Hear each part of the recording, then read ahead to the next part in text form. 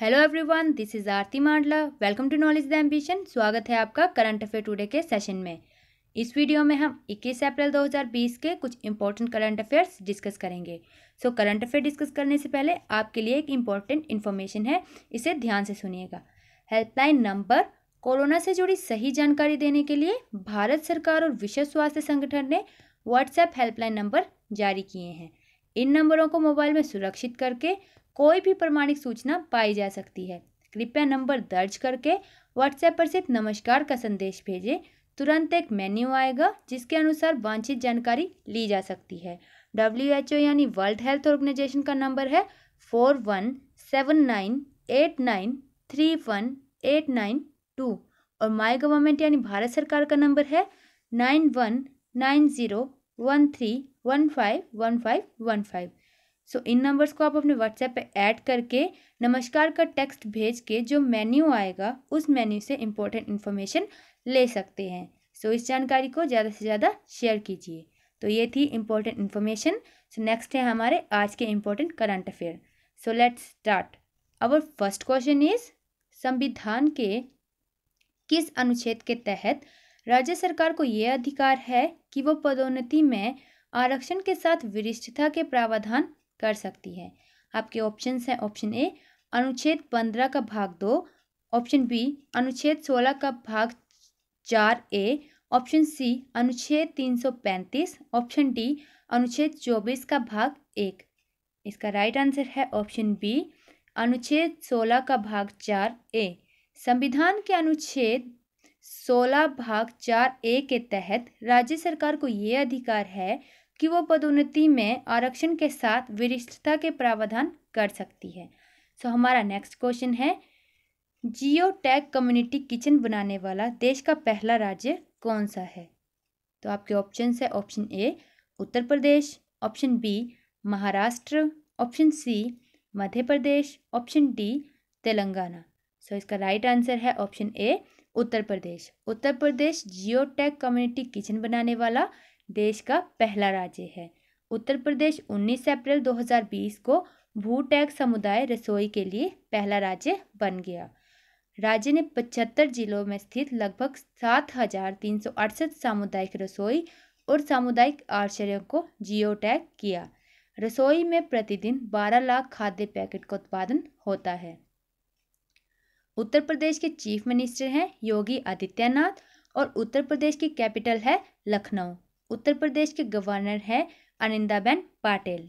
हमारा next question है दुनिया के सबसे बड़े जीवित समुद्री कछुए का नाम क्या है?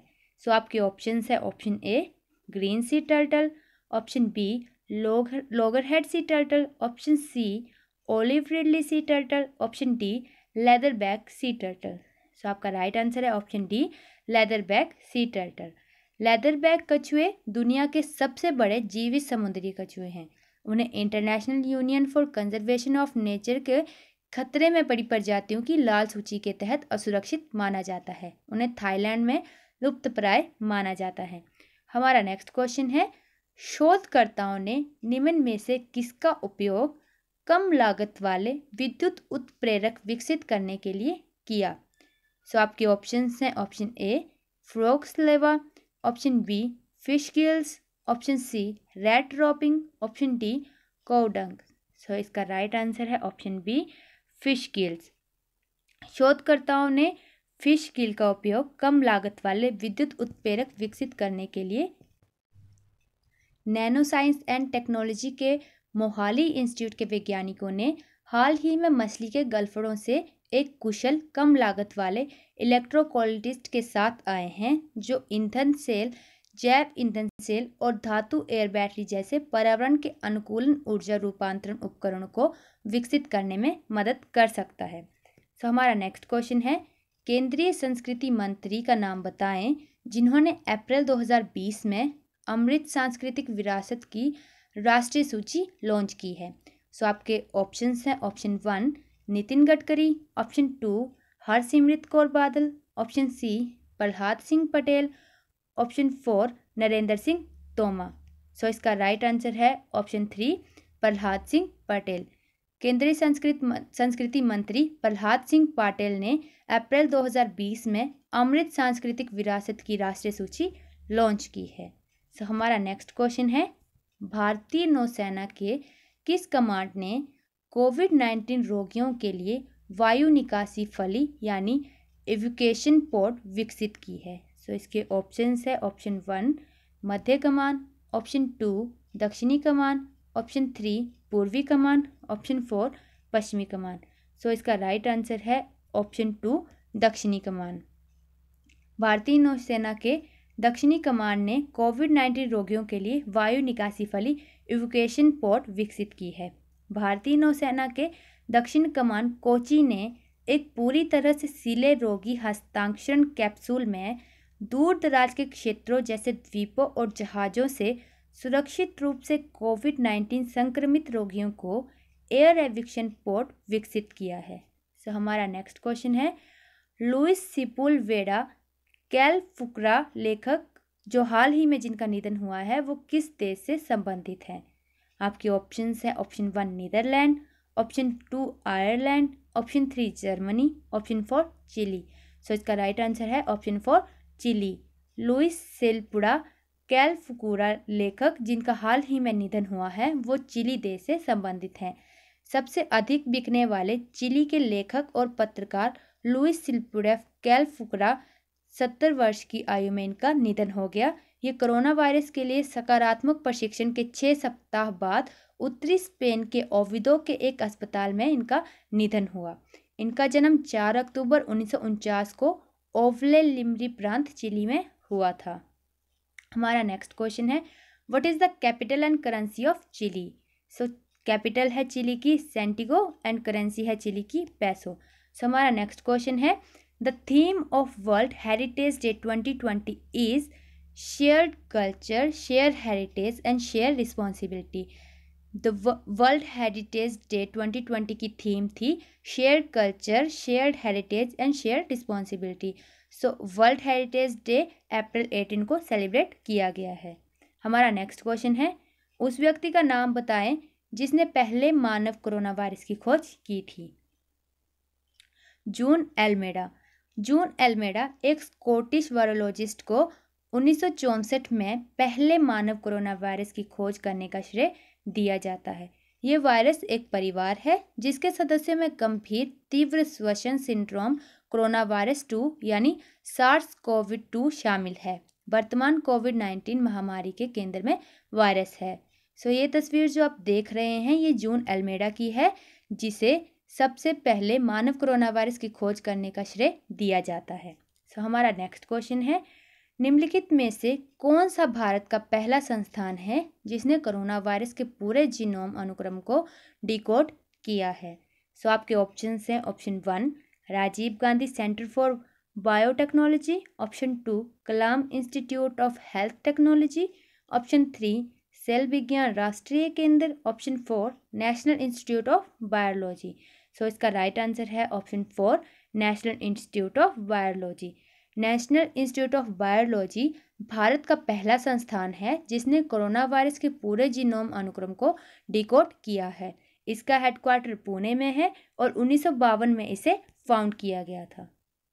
हमारा नेक्स्ट क्वेश्चन है भारतीय फ़िल्म निर्माता और वितरक कंपनी का नाम बताइए जिसने हॉलीवुड के एस टी एक्स इंटरटेनमेंट के साथ अपनी तरह का पहला शेयर विलय किया है। सो so, आपके ऑप्शन है option one Fox Star Studio option two Excel Entertainment option three Eros entertainment international option three Eros International option four Reliance Entertainment so इसका राइट right आंसर है इसका राइट right आंसर है option one Fox Star Studio अपनी तरह का पहला सौदा जहाँ भारतीय फ़िल्म निर्माता और वितरक ईरोस इंटरनेशनल ने एन लिस्ट में छः वर्षीय निजी तौर पर हॉलीवुड के एसटीएक्स के साथ ऑल शेयर विले की घोषणा की है। सो so, ये थे हमारे आज के कुछ इम्पोर्टेंट करंट अफेयर्स अब नेक्स्ट है हमारे इम्पोर्टेंट डेज़ ऑफ़ अप्रैल जिन्हें हम डेली बेसिस पे रिवाइज करते हैं। सो so, हमारे अप्रैल फ़र्स्ट को उत्कल दिवस मनाया जाता है और फ़र्स्ट अप्रैल को ही उड़ीसा डे भी सेलिब्रेट किया जाता है। सेकेंड अप्रैल को world autism awareness day celebrate किया जाता है और ट्वेंटी ट्वेंटी की वर्ल्ड ऑटिज्म अवेयरनेस डे की थीम थी the transition of adulthood four April को international day of mind awareness celebrate किया जाता है। फिफ्थ अप्रैल को नेशनल मैरीटाइम डे सेलिब्रेट किया जाता है। सेवन्थ अप्रैल को वर्ल्ड हेल्थ डे सेलिब्रेट किया जाता है। एट अप्रैल को the international Romani day celebrate किया जाता है।